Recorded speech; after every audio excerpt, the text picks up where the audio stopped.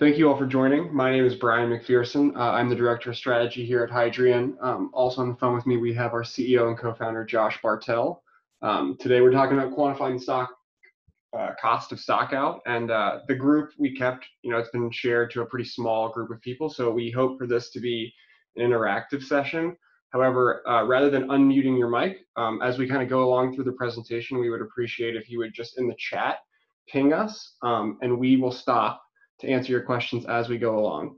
Um, in terms of Hydrian, we are an inventory optimization company, so this is an issue we talk about with our clients pretty often. Um, what we do specifically is we work with our clients and create strategies and then work with them on a daily basis to execute those strategies. So that involves lowering inventory investment and or increasing service level. So with that, I'm going to turn it over to our CEO, Josh Bartel, who's going to walk us through this deck. Awesome. Thanks, Brian. Um, so yeah, thanks so much for joining everyone. Like Brian said, uh, we were hoping to kind of keep this to like five or 10 people. So I think we have a pretty good group today. Um, and I hope that I get a chance to talk with each of you um, and address questions that come up. So, you know, at, at, a very high level, we know that when we are out of stock on an item in inventory, we're going to lose sales. That's the whole reason why we hold inventory. Um, but often I think it's it's uh, taking the next step and figuring out what's the actual financial impact of being out of stock um, is a step that companies often don't take. And part of it's because it's not an intuitive thing to calculate. Um, and our systems, usually like our ERP or accounting systems, often are not super helpful in doing that because of the way that they track or don't track information about your inventory levels over time. So um, there are workarounds for that. And in this talk, I'm going to get pretty specific. Um, you know, we'll start general about why this is important and kind of at a high level how it works. Uh, and then I'll get pretty specific about how you can kind of set up a data workflow to, to start tracking this metric at your warehouse.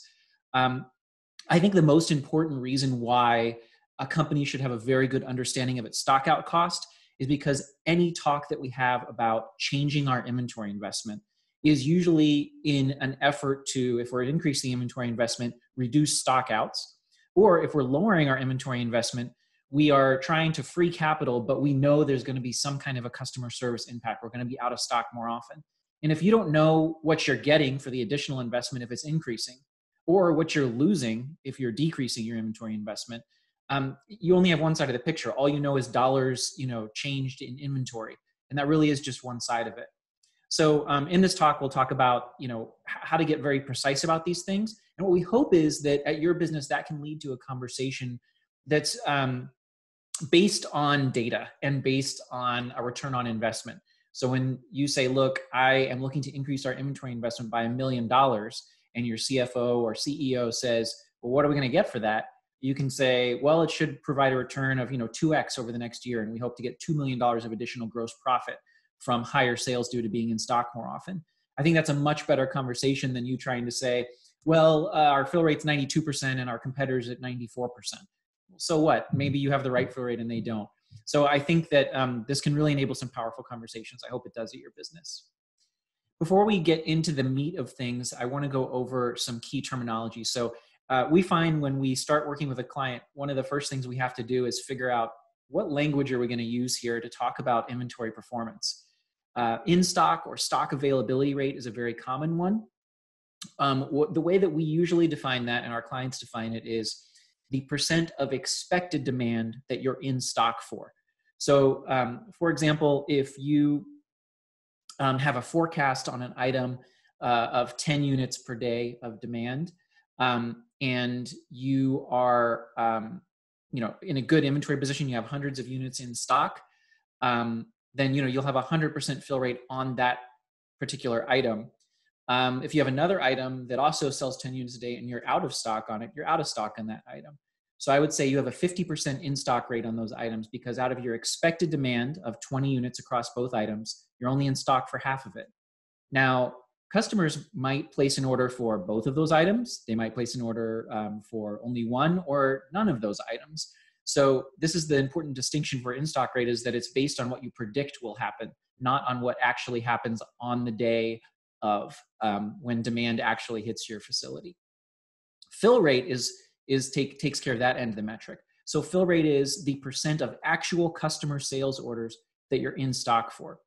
So assuming that you back order for your customers, and we'll talk about the different policies that, that companies have when it comes to what they do when they're out of stock on something customer wants to order. Um, assuming that you back order a customer, let's say you, uh, same example, we're in stock on one item and out of stock on the other.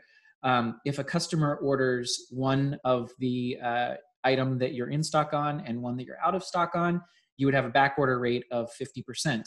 Um, they still bought it. Hopefully, they're willing to wait for the item to be back in stock and ship to them.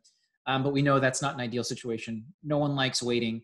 And we know that when we back order um, items, there's an extremely much, much higher order cancellation rate. Almost all order cancellations happen during lead time while a customer is waiting for an item to ship.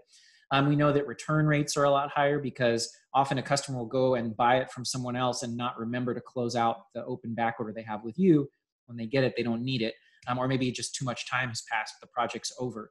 So um, we know back orders are bad, but fill rate generally we're talking about of the actual demand you get. What could you fill? Some companies do not allow back orders. So um, a customer might place an order for something, and if you don't have it, you simply cancel that line off of their order or reduce the quantity to reflect what you can fill. Then you get back to the customer and let them know um, what you've done either way, um, fill rate is about what customers are actually ordering versus what you can fulfill from stock that day. Service level, I think, is kind of a fluid term. We hear different companies uh, using it to mean different things all the time. So, um, service level, I think, really just is about how's the inventory performing. It can mean in stock rate, it can mean fill rate, but generally, it's you know how much, how, how well is my inventory serving my customers. And then the back order and order cancellation rate, either one, depending again on if you back order or not, it's just the inverse of your fill rate. Um, as we go through this presentation, I'm going to try and stick with fill rate when I talk about how often we're in stock for customers, um, but forgive me if I swap things around. But generally, if I'm using in stock rate, fill rate, service level, I'm talking about the same thing. So, uh, really high level, um, why do we hold inventory? So, inventory is a buffer against uncertainty, and there are two primary sources of uncertainty for most uh, environments that we work with. There's the demand uncertainty. Is a customer going to buy something today? How much are they going to buy? Um, and there's supply uncertainty. So if I am selling something down and I see that I need to reorder it, my vendor hopefully will ship it to me, um, you know, in the time that I expect them to. But sometimes orders arrive early, sometimes they arrive late, sometimes they arrive really late if your supplier is out of stock on an item or can't manufacture it for some reason. I think we definitely have seen a lot of variability and uncertainty in both of these areas during the you know COVID pandemic this year. Um, initially, I think supply chain issues were a bigger deal for most of our clients, particularly if they were importing items um, from overseas. In those cases, I think we you know saw some in some cases someone would say, look, the the factory in China is shut down, and they're not going to ship anything for a month. So all of their lead times are backed up, not just a month, but then you know probably a couple of months as that factory works to get out from under the build the buildup of demand that accumulated while they were closed, and that obviously disrupts their customer service plans. Um, you know, and, and I don't think anyone could be faulted really for not holding enough inventory to get through a supplier being closed for a month. That's pretty exceptional. Um, but when it comes to the stockouts, we know generally happen, or just suppliers being, you know, behind in their warehouse, or carriers taking an extra couple of days to deliver sometimes once the stuff is on the road to your facility. Um, I think that the uh, supply variability that you know is reasonably expectable is something you should be stocking for. Hey Josh, I wanted to stop you. We had a question come up on the previous slide, which was about which of the metrics you described are best to be tracking. Yeah, that's a great question. So I think that um, if we're if we're talking about in-stock rate versus fill rate, first of all, if your organization has always been measuring one and doesn't really care about the other, um, it's probably okay to stick with just one. But really, it's better to do both. Um, the thing about an in-stock rate is that it is entirely dependent on your forecast accuracy. And especially if you have a business with a long tail of low demand items with a lot of variability, you know, they sell, they might be three weeks between sales, for example. Um, your in-stock rate you know you might have a forecast of zero or a fractional quantity for something. So being out of stock on it doesn't really ding that in stock rate very much. Um, but a customer is, is certainly going to come and buy those types of items items from you every day. So fill rate captures that. It says look I'm, I'm concerned about what customers actually do. The thing that about fill rate though is that we're trying to measure basically how how much demand am i getting for stuff that's out of stock and depending on your business and how you present your stock status to customers your demand might change a lot based on whether you're in stock or not. In some situations, customers literally might not be able to place an order if you're out of stock. So then when we talk about fill rate, which is really, you know, of all the demand I got, how much was I in stock for? Well, if customer if demand can't occur when I'm out of stock, then your fill rate becomes kind of a meaningless metric. So we recommend tracking both, um, recognizing that sometimes it's it's difficult, especially if you're a new supply chain uh, manager executive trying to move the needle on getting your company to look at a new metric. That can be tough. Um, so whatever they use historically is probably fine, but if you can start sneaking in that other metric to the conversation, that's great to do. So w- when we talk about what we do every day, which is inventory optimization, um, we're really trying to minimize cost. And we think about three major costs when we talk about inventory. So there are ordering costs. Basically, what does it cost every time I replenish my inventory? So I got to create the purchase order, contact the vendor, get the stuff on order, receive it in the warehouse, check it in, put it away. Um, those costs are typically fairly fixed around a given order, regardless of the quantity. So yeah, it takes a little bit longer to check in, you know, 50 packs than it does to check in 25 packs of bolts, let's say. But all that other legwork that I talked about, putting something away, you know, the forklift's got to go to that location and put those 25 or 50 packs away no matter what. Doesn't really matter. Doesn't take any more time to do more. Generally, if we're talking about really big, bulky items, sure, then it changes. But these ordering costs are relatively fixed. And so that means we can change them because while we always have to buy what we sell, if we sell a thousand units something a year, we got to buy a thousand units from our supplier. We can change how many receipts we have. So we could buy all thousand on January 1st. We would never recommend doing that. Um, but some, in some cases you have to, or, or it might be economical to do so. And that's going to have the lowest ordering cost. Um, you know, the highest ordering cost would be every time I sell one unit, buy one unit, and I'd have a thousand receipts a year, and there'd be a ton of time and motion in the facility. So those ordering costs are one major side of things, and there's holding cost. So we know that when we have something in stock, we have um, capital and space tied up in this inventory that could be used for other purposes. And generally, um, companies have a, a, way of measuring this. It's a um, cost of capital or um, their hurdle rate, whatever you want to call it. And we're trying to balance those two costs. And um, many of you, if you're in supply chain, have heard of economic order quantity. That's literally a mathematical function to determine, given some item attributes and demand attributes, what's the lowest possible total cost between ordering costs and holding because if i play if, if i did the extreme i talked about place that order on january 1st for a thousand units i have to hold it all year so while i've minimized ordering costs my holding costs are very high the other extreme obviously very low holding costs because i'm literally only holding one unit at a time but i have very high ordering costs so there's a way to minimize those two but the arguably the largest cost depending on your business this is true for most companies of inventory management is stock out cost. It's what you pay when you're out of stock on something. And um, that's obviously what this whole talk is about. But uh, it's really important, I think, when people talk about, oh, we manage our inventory using EOQ. Well, that's great. EOQ for, doesn't get into it all. First of all, where should I reorder? So at what point should I reorder inventory? It's only about how much I should order at one time, and it doesn't account for stock out cost at all. So that's why it's EOQ is part of an inventory management philosophy. It is a small part that ignores a major cost. So when we're looking at um, what drives stock out cost, um, we really need to be thinking about two questions. One is when do I need to reorder something as my inventory level sells down, and how much should I buy at one time? So here we have kind of laid out on the screen. Um, Hydrian folks, can you see my mouse cursor on the screen? Yes. Awesome. Okay, so this is just a very simple inventory model. Uh, the red line up here is our inventory on hand over time. So as demand occurs, we're selling down our inventory and we get to this um, light blue line here, which is, oh, I'm sorry, that's the average. Never mind, this gray line here, which is our reorder point. And that's the point at which we order more inventory from our supplier. Of course, while we're in lead time then, waiting for inventory to arrive, inventory continues selling down. Then at the end of lead time, this receipt arrives and our inventory level pops back up because we get this replenishment and start selling down again. This bottom chart on the same time axis is looking at stock out risk. So what, the, what is the likelihood I'm going to have a stock out on this item? Obviously, even the day after you get a replenishment from your supplier, you've just gotten new inventory. A huge customer order could come through and wipe it all out, but that's really unlikely, and that's why this the odds of a stock out are so low. But they rise exponentially as um, our inventory level decreases.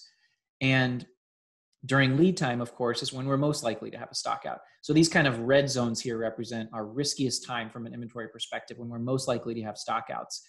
If we, to use this example, um, doubled our order quantity, so we ordered twice as much at one time, you can imagine this kind of shark fin looking shape here would be twice the height. So it would go all the way up to here, and it would take twice as long to sell down. Well, that would effectively halve the number of receipts per year. That's that order cost going down.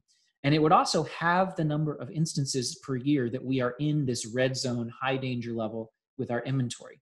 So I hear a lot of conversations at clients about what's your safety stock strategy or how much safety stock do we need? And that is a very important question for preventing stockouts. You're effectively setting your um, reorder point when you talk about safety stock. It's definitely a huge part of service level and fill rate and all that stuff. But how much we order has a direct and measurable impact on our in stock rate. So um, safety stock is just one part of the question. Um, and we certainly don't, by the way, recommend that everyone go out and double their order quantities because, like we talked about before, ordering more inventory at one time, making this shark fin higher, your average inventory level, which in this case is this uh, dotted light blue line, um, is going to increase. So we get a lot of questions um, from clients about what's the right fill rate for my business or the right in stock rate. Um, there is certainly not a right answer for this, even within a really well defined industry where you're looking at yourself and a very similar competitor. I would argue you should not at all target the same fill rate that they do necessarily. You might happen to have the same fill rate, but there are very good reasons why your fill rate should be different. So when we look at for, for, and another thing I'll say is you definitely don't want to set this at the um, you don't want to say okay I have a 95% fill rate goal and make that your goal for every item. Um, there are items where if they're really consistent sellers, they have a really short consistent lead time from the supplier. I would hope it's much higher than 95% um, if your overall average is 95%. And there are items where you know they're big, expensive import items. They take forever to arrive and they sell and the demand's really chunky, customers buy a whole bunch one day, they don't place an order for two months. Those items should have probably a significantly lower service level target than 95%. So every SKU should be different. Um, what we see most clients doing is applying kind of an ABC classification and setting fill rates around that classification. So let's say, look, my A items, my best sellers, 98% fill rate. My B items, I'll accept a 94% fill rate, and my C items, 90%. By the way, these, these numbers are obviously totally made up. And I would say that um, even within the same industry, we'll see customers where their profit maximizing fill rate might be as low as 80%. And we'll see another client, same industry, where their profit maximizing fill rate is over 99%. Um, that spread's really unusual. Those are the extremes. But um, when I throw out these numbers, just know there, there certainly isn't some number that's best practice. Um, some industries are probably more sensitive to it than others, but I'm going to argue again, every SKU should be looked at individually on its own merits. Some of the qualities that make me want to hold more of a SKU would be um, if it has high demand, because obviously if I'm out of stock on something that's a flagship item, that's going to have a much higher higher cost than if I'm out of stock on something that never sells. Um, something that has um, long or sh- sorry short consistent lead times makes me think that it's going to have a higher service level because it's just cheaper to have a higher service level if you can replenish very quickly and easily. Um, its holding cost being higher would be a reason for an item to have a lower in stock rate. So um, the classic example is you know we have clients who sell bubble wrap and these are these massive like 10 foot tall rolls that are eight feet wide and they're such a pain to move. Um, those kind of things, you know, I'll accept a lower in stock rate on those because I don't want my whole warehouse to be filled with bubble wrap and, you know, risk that it's not going to sell as well as I think. Um, and then an item's strategic importance is also um, a factor. So if you have own brand items that are um, just a part of what you sell, you sure don't want to be out. If you're ABC company, you don't want to be out of stock on, you know, ABC brand valves. If you're a valve distributor, let's say. And finally, stock out costs. What's it cost when I'm out of stock? Obviously, the higher that number is, the higher my service level should be. Um, when we when we talk about what goes into stockout cost, um, I already mentioned about returns and cancellations. There's also order management costs. So customers may call in or, or will call in more often if they're waiting on a back order to come in. Um, if you're out of stock on something and you can ship it from your vendor, if that's an option, um, the drop shipment fee you pay um, generally is going to be higher than your own internal handling and transportation costs we know that if you're out of stock often enough, people are you're going to have a reputation for not being in stock often. That's diminished brand. Um, that certainly is a part of stock out cost. And then by far the biggest part of stock out cost is spilled demand. So customers buying something less or not buying it at all because you're out of stock. So I'm going to kind of go through uh, a breakdown of theoretical a, a, pile of demand. So you know, customers want to buy from you, um, let's say 100 units of something, and that's the demand level you're going to see if you have a 100% in stock rate. In other words, if you always have it on the shelf, you're going to sell 100 units. Um, but of course, you're not, uh, you know, for many items, you're not going to have a 100% in stock rate. And so there are kind of two situations that happen every day your business is open. There are the days when you're in stock on the item, and there are the days when you're out of stock on the item. And when you're in stock, um, you know, any orders that get placed are obviously going to have a 100% fill rate because you're filling them all from stock. When you're out of stock, there are the orders that get placed for this item. So these are back orders. Um, and then there are the orders that don't get placed. And that's really what we're trying to measure. And that's what this talk is primarily concerned with. How do I figure out the customer, the orders my customers didn't place? Some companies try and figure this out by getting at, and that's by the way, what we call spill rate. So if we have a spill rate of 50%, that means um, I sell two units a day when I'm in stock. I sell one unit a day when I'm out of stock. So half my customers are willing to accept a back order. When people try and get at, well, how do I measure the orders I'm not getting? There's a couple of methods they use. One is, you know, if you're a fill or kill company where basically you get an order and if you can't fill it from stock, you cancel it off your customer's order. Well, you know that they tried to order it so that you count that demand. Um, and you say that's that's you know the demand I got while I was out of stock. Uh, the other way is by looking at like cart abandonment if you're an e-commerce company. Uh, so you know looking at how often do customers come to the website and you know my conversion rate uh, uh, sorry conversion rate would be another another metric to look at in an e-commerce environment my conversion rate dropped by 50% um, or my cart abandonment rate went up by whatever when customers realized they weren't going to get this stuff tomorrow because it's out of stock um, so uh, uh, we have seen other companies also like let's say they take orders by the phone they'll have the agent mark down oh the customer asked for this item but when i told them it was out of stock they canceled their order i'm going to say that all of these methods um, we have found are highly inaccurate. Some of the e-commerce metrics can be good. Um, they're certainly nice to collect. All these things are, are good to know if, if you have these data points. But there's a more um, kind of back end way to do this that's a lot cheaper to figure out. And that's the method we're going to describe here. So we're kind of assuming you don't have those options available to you. And even if you do, eh, we find they're really inaccurate. So you know in an environment where it's like look customers don't have any idea if we have something in stock or not they just fax their orders into us we still find on days when those companies are out of stock they get fewer orders so somehow whether it's because they're calling or maybe they're calling to get a quote and the agent on the phone or or in the fax back stock status is being quoted customers are even if you don't plan for them to figuring out when things are in stock or out of stock and adjusting their ordering according, accordingly um, what this is just kind of a quick aside your back order policies directly affect stock out costs. So I already talked about, you know, if you don't back order something, then you effectively have a hundred, if you don't allow back orders at your business, you have effectively a hundred percent spill rate because the customer literally can't place the order. Some of that demand will be deferred. You'll get that order later when you're back in stock. Sometimes a customer will order a substitute item. Um, but, but once you take into account the kind of intangible brand costs and these other costs, it's a hundred, uh, you know, a, a, company that doesn't allow back orders has close to hundred percent um, spill rate or um, stock out cost. Um, the other thing is, you know, if you if you always ship orders complete, so that is um, you allow back orders, but if a customer places a 10 line order and you're only out of stock on one line, you will hold those nine lines that you had in stock until that 10th one arrives from the supplier and ship them all out together.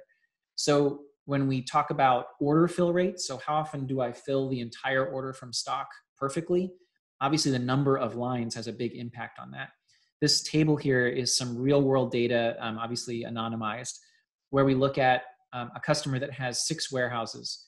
And some of those warehouses, just by the nature of their material, have a higher average number of lines per order. So warehouses B, C, and D all have very lousy order fill rates. You can see, you know, warehouse A has a 97% order fill rate, meaning 97% of orders ship complete on the day of the order. Warehouse B, C, and D have really lousy order fill rates For warehouse C, the reason is because at the line level, they're just out of stock really often. They have the lowest in stock rate at the line level, order line level. Um, but for warehouses B and D, their line level fill rates are actually pretty good. It's just that they have so many darn lines per order. They're ne- it's going to be very rare or, or, more rare for them to get it all right. Um, so just something to think about. If your company has a ship complete policy or you have customers that demand ship complete, um, if you're out of stock on any line for an order like that, it's just like being out of stock on the entire order. And um, you're just going to naturally have a lower order fill rate as the number of lines increase per order. All right. So now into the kind of nitty gritty. Um, by the way, please don't don't hesitate to shoot a message into the chat if you have a question or want me to pause, and um, we can have a quick conversation about any any topic that we're going through. Um, so, how to run a study to determine spill rate? Um, the the one sort of data point you have to start accumulating to run this sort of back end study that I I, taught, I mentioned earlier is your inventory positions on a daily basis.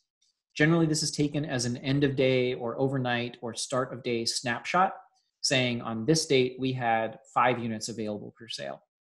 Um, one thing I'll, i want to point out is that a lot of companies will consider things to be in stock if um, they're on order from the vendor or they have a shipping confirmation or an ASN number on an order. Um, the critical thing here is the item needs to be available for customers to buy to count as in stock.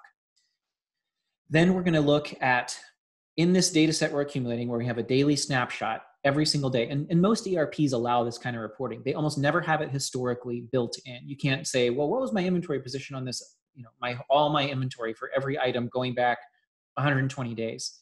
But what you can do is say today i want you to t- give me a printout in excel or whatever of every single item that i stock and the quantity available for sale. And hopefully you can set it up as an automated report that you run and you just accumulate this data over time. And once you have say 10 15 30 days of data you probably have plenty of data to start making some me- measurements on your spill rate how much demand you're losing.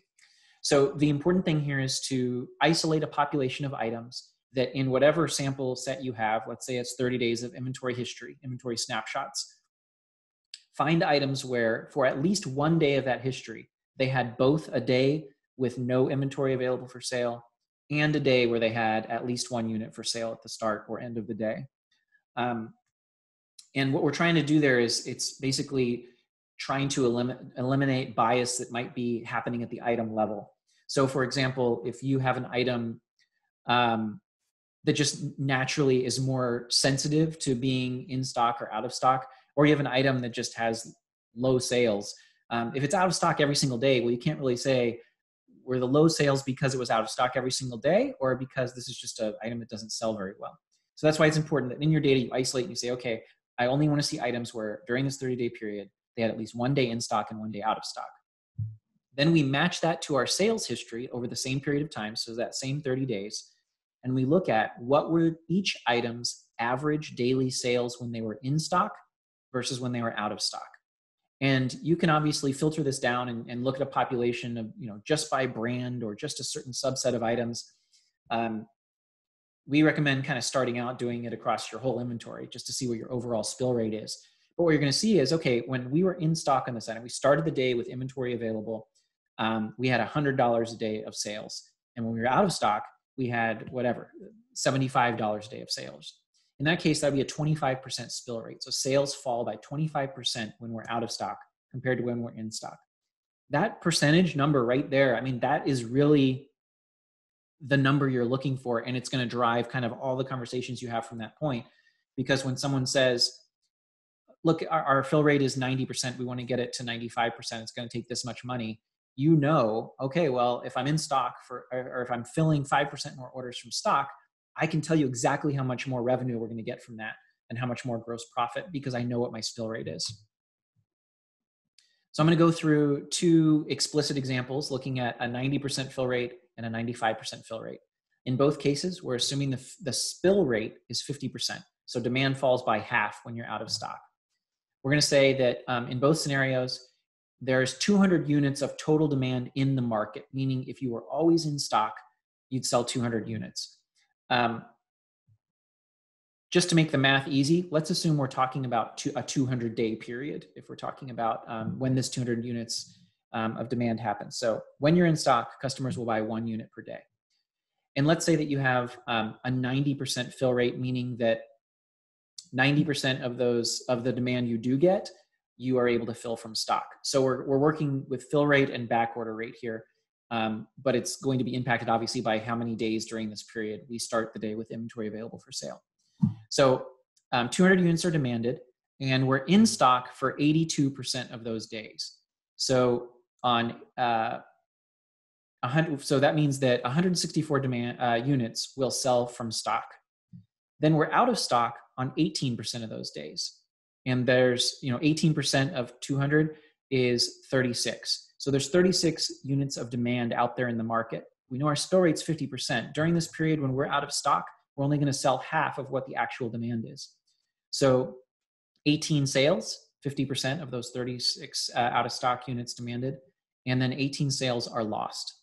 And so what we end up with is 182 total sold units. Um, we sold 164 from stock and 18% or 18 units um, back ordered. And so if you do the math there, you come out with it's around 91% um, of total, I'm sorry, it's nine, around 90% of um, the total demand. I'm sorry, it's 90% of the orders we actually received that we were able to fill from stock, uh, or 91% of the 200 total units. So the math here is not totally intuitive, um, but something to keep in mind is that because we're talking about a fill rate or a back order rate, um, as that goes up, we are going to be in stock on more days and sell more material in total. So to take the other example, when we have a 95% fill rate, so we have half as many back orders now. Now we're in stock on 91% of days um, where there's 182 units demanded. We're only out of stock on 9% of days. So that's 18 units demanded. 50% spill rate means of those 18 units demanded when we're out of stock, we only get nine sales. So we have nine out of stock sales or back orders and 102, uh, 182 in stock units. That's 95%. Um, that means we sell a whole, total of 191. So if you look at 182 versus 191, it's roughly a 5% total units sold increase. Um, so with a 50% spill rate, every unit, every percent of fill rate is also going to be basically a point of revenue or a point of gross profit if that's what you're measuring. Um, I realized that was totally not not a clear explanation because it's a hard thing to follow in real time. Um, so we're going to send this deck out and you can kind of go through this on your own and reach out with questions too. Um, we did have one question come up, oh, which oh, great. is what are the minimum number of days that this study can be performed over? And when we do do the study, are sales in terms of line, cost of goods sold, uh, just revenue? We use units sold in the presentation, but are there other ways to measure sales? Yeah, great question. Um, so the number of days to do the study over is going to depend a lot on how many items you're selling and what your fill rate is on them. So um, if you have an extremely high fill rate and not many SKUs, you're not going to have a lot of items where you are in stock and out of stock um, at least one day during a given period. So you're going to have to stretch that period out to, you know, maybe 30, 60, 90 days. If you're a business selling, you know, tens of thousands of SKUs, um, and you know your in stock rate or your fill rate is lower a single day of data may be perfectly adequate for measuring or i guess two days of data may be perfectly adequate for measuring this because um, you're going to have lots of items that just in two days are going to have a lot of um, are going to be in stock on one day and out of stock on the other day uh, in terms of the, the unit of measure that we use um, we like using revenue or units you know which you can obviously directly convert into revenue at the SKU level because that's generally if you're talking about you know uh, dollars of gross profit that's going to be what you're measuring against in terms of the uh, inventory investment. So raw dollars you're having to put into your inventory to get there. If we talk about units or lines um, it's an extra step to make that like a real financial impact. So i like to use gross profit um, on the item for for uh, the spill rate cost um, we've mentioned, or I've mentioned, uh, fixed and intangible stock out costs. So things like brand uh, perception. Uh, generally, the way that we account for this is we say, look, every time we have a back order, let or an order cancellation if you don't allow back orders, let's ding ourselves with a fixed cost in addition to the gross profit that we calculate through our spill rate. Um, this is to account for things like back order cancellations and returns, customer service calls, um, you know, unsaleable stock. If you ship complete and you're holding on to nine lines of inventory so that you can ship that tenth when it arrives from the vendor, the storage of that inventory and you're you're not being able to bill for it, you're not able to sell it to other customers. That has a cost. I, we mentioned drop shipping costs. So, you know, what might be typical, and obviously it's going to depend on your business and what you're selling, but a typical number might be ten dollars per per order line. So a customer tries to order an item um, and you don't have it in stock, so it's back ordered. We'd say, okay, well, whatever the spill rate is, let's uh, make an assumption about the gross profit we're going to lose, which we just talked about, and then let's also add ten bucks on top of that, just to kind of make sure that even if it's a five cent washer, if it's holding up a twenty thousand dollar job from being completed, um, that's a real cost to the customer, and gross profit really wouldn't be an accurate reflection of it diminished brand, you know, lifetime customers um, can leave if you have enough stockouts um, or back orders. And we also know that a lot of industries are reliant on their advertised fill rate. So if you can say, hey, we're in stock 99% of the time, that can be a powerful sales driver. And so um, you obviously can't use that marketing strategy if you have a lousy fill rate. So basically, you know, if we're looking at um, on a per order line basis, so a customer order line basis, for different spill rates, um, we have different costs that apply. So let's let's use that uh, example before where we were saying it's ten dollars fixed cost per back ordered line, and let's assume that every order line we get is roughly hundred dollars of gross profit. Um, so if we have a zero percent spill rate, that means customers there's literally no change when we're in stock versus out of stock in what customers buy. Um, they buy just as much when it's back ordered. So in this case, obviously the lost orders per back order. So every time you see a back order, um, there's not some other demand that didn't occur. You know, that flow chart we talked about, it was like, well, we get these back ordered sales, um, then there must be other sales we're not getting on that day. Well, if your spill rate is actually 0%, that's not the case. The case is um, you are always capturing 100% of demand. So the only thing you ding yourself for in that case is, oh, darn it, we had a back order. Let's ding ourselves $10 to say this customer's inconvenience and having to wait for material cost us something, even though they still accepted the order. Um, but as the spill rate climbs, and let's skip to the 50% that we've been talking about, a 50% spill rate means that when you're out of stock, sales fall by half. So any sales you do get only represent half of the demand that you could have captured. So you can count the back orders and sort of establish what you're missing out on because every back order, there's also an order you didn't get. So lost orders per back order is, is the, the term for it that we use. Um, with a 50% spill rate, it's 1.0. So for every back order, I have an order that I didn't receive. So in that scenario, my fixed costs, I have $10 I ding myself for the back order I got, and $10 I ding myself for the customer who came, wanted to place an order, but didn't because I was out of stock. So $20 total fixed costs. And then um, the total gross profit I'm losing is the hundred dollars, um, which is my average gross profit per line in this scenario, that I lost from that one order that I didn't get. So the total is 120. So at different spill rates, your cost per order line changes. Um, and so if we try and play that out for, say, um, a large distributor that ships um, a million lines per year and has a hundred dollar average gross profit per line. So this is a hundred million dollar gross profit um, distributor and we use those same metrics, um, we can just do the math here and multiply it out and say, okay, well, at a 90% fill rate, I'm going to have 100,000 back ordered lines. Um, assuming that I have a 50%, this is the example we're highlighting here, spill rate, that means that my 100,000 back ordered lines, I there's another 100,000 I didn't get. So 100,000 lines times $100 is $10 million in lost gross profit.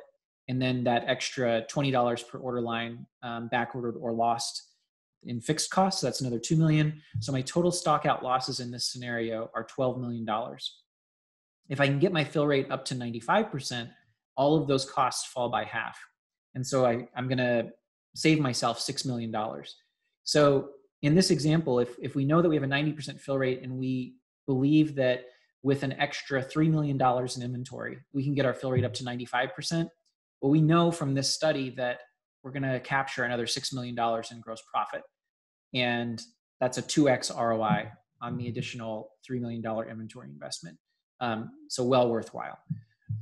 Um, these are the kind of conversations that we're hoping can can happen at companies that are considering changing their inventory investment, um, or at least opening people's eyes to the fact that look, our inventory serves a really important purpose, and um, when we, when it when there's an inventory failure and we're out of stock on something, um, here's the actual dollar impact that's affecting our top and bottom line.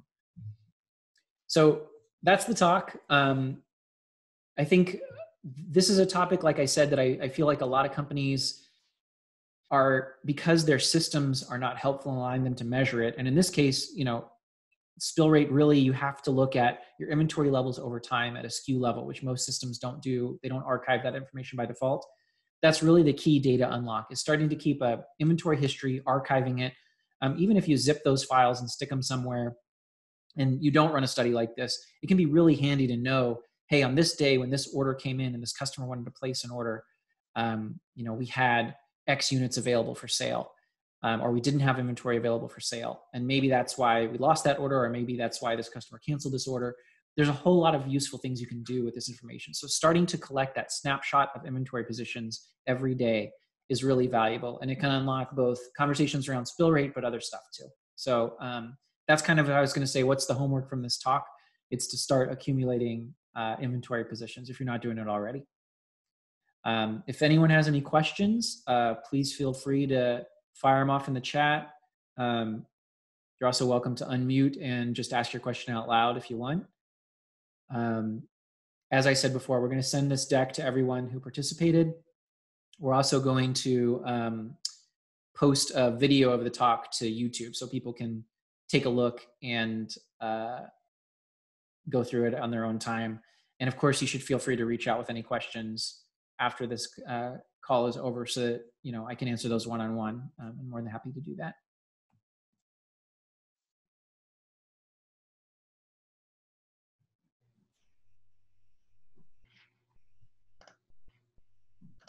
All right, I think that's it.